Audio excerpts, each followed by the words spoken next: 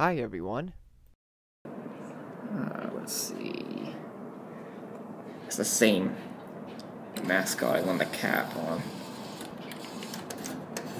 Not sure if I can get him. I'll try though.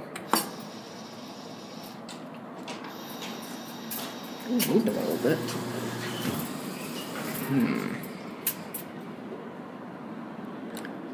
Try again, but that thing might be too big. Oh, I stabbed that thing's arm. That was crap.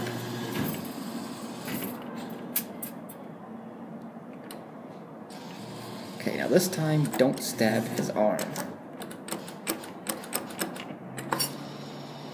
It's a little bit better. Yeah, that thing's too big. I'll change my target. Hmm.